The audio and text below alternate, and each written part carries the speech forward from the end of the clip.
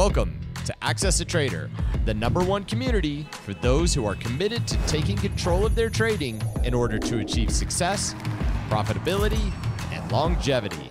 Thank you for joining us. Here's Dan Shapiro to help you find your edge, master your process, and own your future.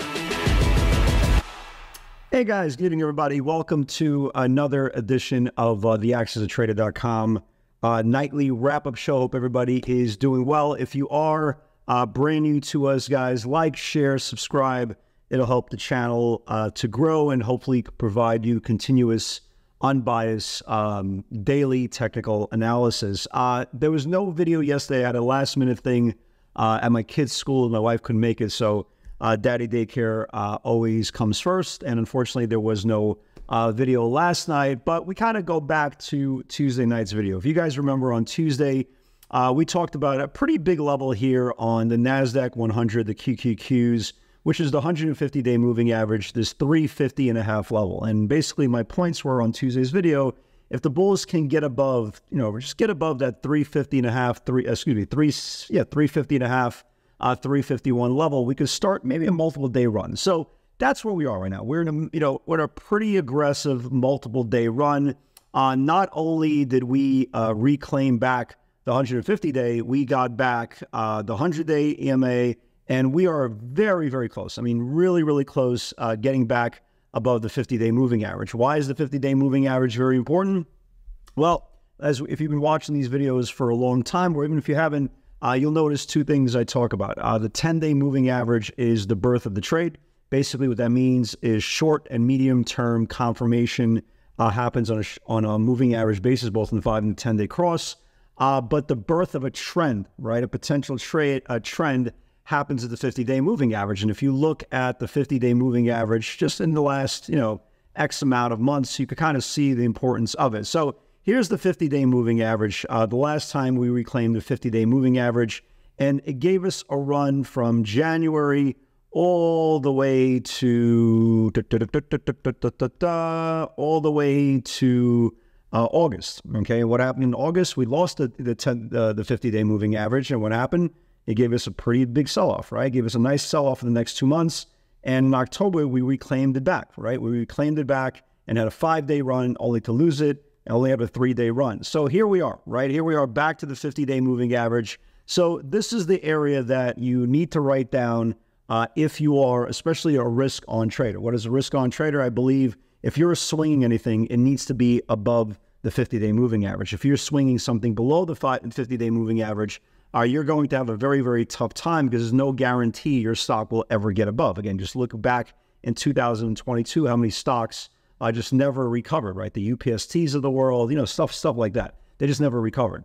Um, so it's very, very important that the bulls reclaim back uh, the 50 day moving average, and that is going to be in the 364s, right? The 364 level uh, is going to be big because last time, again, you can see here, last time we reclaimed the 50 day moving average, we went on a run from 367 uh, all the way to 3, uh, 374, basically a seven point move in three days on the Qs. So it's super duper important. Now, here's the, here's the million dollar question.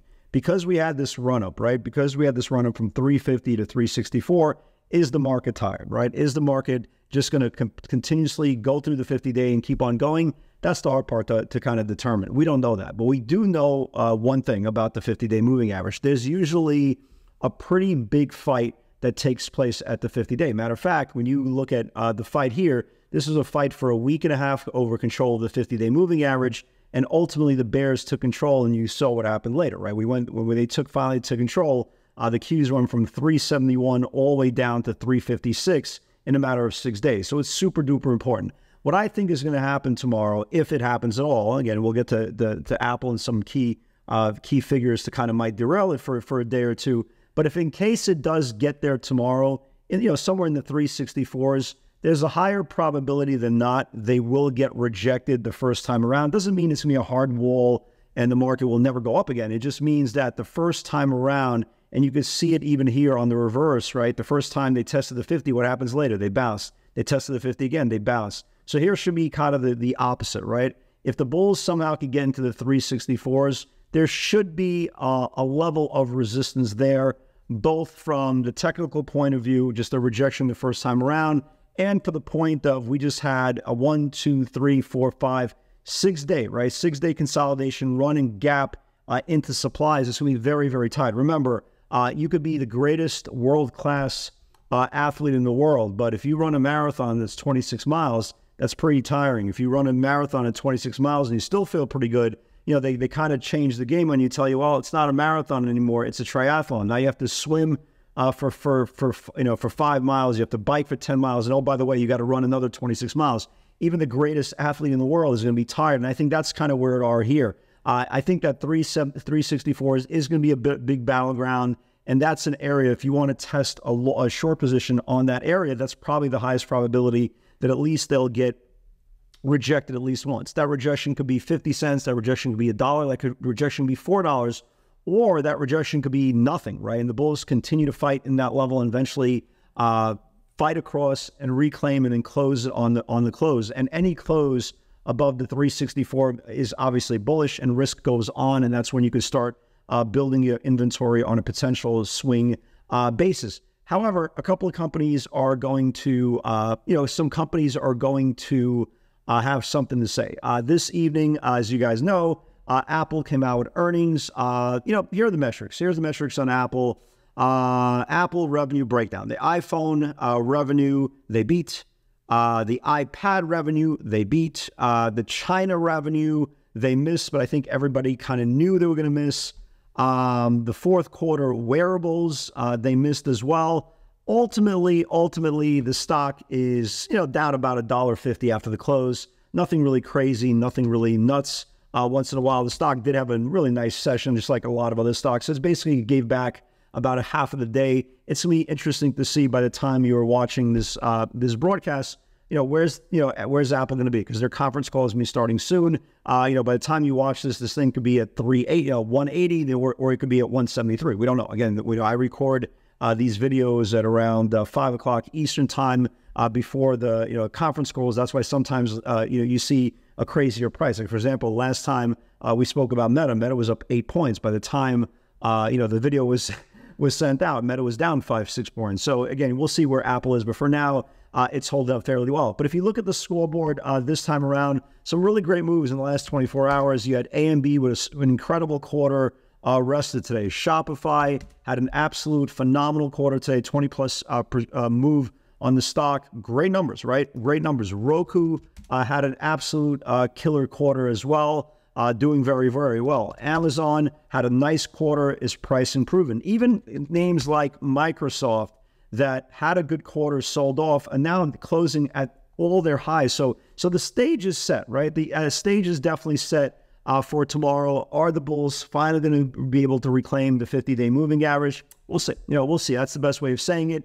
Uh, names that didn't do well, that had some pretty good option flow, guys. And this is sometimes where you look at the options market and you see where they're betting. Sometimes they're right, sometimes they're wrong. But the the, the more frequent you see uh, bets coming in the options market ahead of earnings, they usually give a pretty good insight of what people are thinking. And today, uh, you had NET come out with earnings, uh, and they were betting pretty aggressively uh, all morning here. They were coming for the uh, next week's $50 puts. And if you look at NET uh, after the close, NET went all the way down to 49, something about 53. But, you know, again, they were you know, betting in the right direction. Uh, Coinbase also uh, came out earnings uh, before before the close.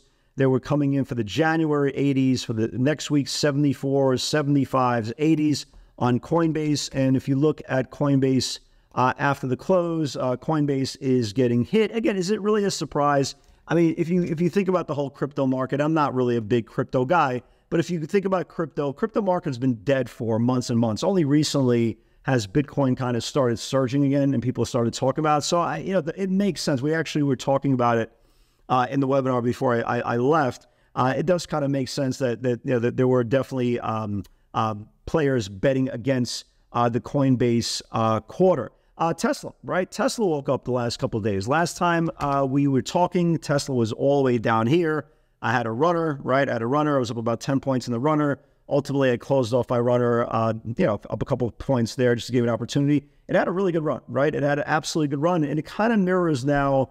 Uh, it kind of mirrors now what's happening on the Nasdaq 100. Nasdaq 100 uh, is about to fight on uh, the 50 day moving average. Tesla now, as you can see here, and now it needs to fight to get above the 200 day moving average. Some China numbers came out. Uh, they were obviously uh, pretty good, and Tesla had a great uh, a great uh, two day surge. Now the question is again for Tesla, the same with the Qs. Can the bulls finally reclaim back the 200 day moving average, which is obviously super important? And they can they start moving their way back to the 150 that they lost here on the gap down on the earnings? We shall see, right? We shall see. So going into tomorrow, again, I think the bulls are a little tight, a little tight. Again, is it possible, you know, the Qs, you know, get to the 50 day, get rejected, then reclaim and go? Of course, everything's possible. But again, when you have a run from 342 to 364 in a matter of five days, right? Again, it's very, very tough to uh, start entering fresh positions going into uh, 50 day supply. We'll see. You know, we'll see exactly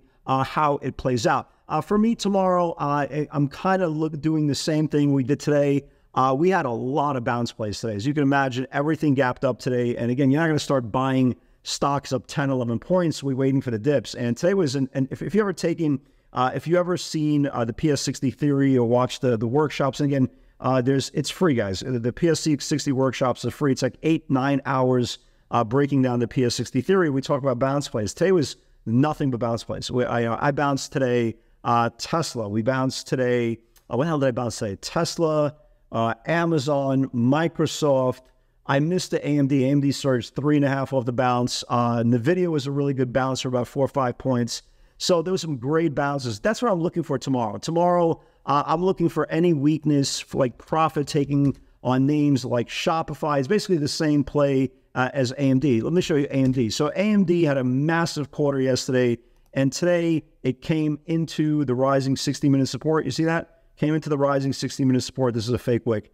Came to the rising 60 minute support and then rallied back three and a half dollars. That's kind of what I'm looking for for tomorrow on Shopify. I, you know, I want to see any type of sell off into rising support. Same thing I want to see on Roku as well. Any type of you know any type of selling, uh, profit taking into rising 60 minute support because that's where the value is. These bounces again, as you guys in the webinar I saw today, phenomenal, absolutely phenomenal. Uh, we rec- we recorded uh, the first hour. We kind of took the snippets, kind of put it into our training vault to kind of you know to kind of show people uh, exactly what it was. But it was absolutely amazing today. The, the bounces today was were, were super, absolutely super. Uh, and hopefully, uh, hopefully you guys are starting to get more comfortable and comfortable in that. Uh, so going into tomorrow, again, that's kind of my game plan. Uh, let me give you guys a couple of names uh, that I'm watching for tomorrow that is not uh, beta. That's not beta. Uh, some ideas for tomorrow. Let me give you guys a couple of names I'm watching. Um, yeah, look at Cart. You know, look at Instacart. Right, we talked about this name uh, several times, and this was definitely one of the worst IPOs of the year. maybe because they kept on price gouging everybody during COVID. You guys remember that? Instacart, yeah, we'll deliver it to your house and we'll charge you $80 for it. Well, now you're getting paid back. Anyway, so you can see the range here, right? You can see the range here. It needs to clear out. I'm going to watch this range in the next couple of days. Uh, if Instacart starts clearing out this range, maybe this thing finally uh, wakes up here. Um, you know, NVIDIA, you know, the video is very interesting. Um, you know, very, very interesting. It's not out of the woods yet, but it's getting there, right? We had definitely nice pivots in the last couple of days. We had a nice bounce in this thing today you know, I'm going to watch this top of the range here. Is it possible it reflects uh, like on the Qs and they start, you know, start driving into the 50-day moving average? Yeah, we could, we could. But the, the bigger picture on NVIDIA uh, going into, especially going into its earnings, it's going to need to reclaim uh, 444 on the close, right? A 444 will, will reclaim back the 50-day moving average, but that's something we want to watch uh, down the road. So listen, it's, a, it's been a really good run for the Bulls for the last three, four days. Tomorrow is the line in the sand, right? That's the only only number you need to know on the Qs is this uh, 364s area. You know, there's going to be a gunfight. There's going to be a knife fight. Uh, they're going to be hitting each other with everything, including the kitchen sink. Can the Bulls reclaim the 50? Can the Bears reject the 50? To be determined. Guys, have a great day. Have a great night. Stay blessed. Stay healthy. And with God's help, I'll see you guys soon. Take care.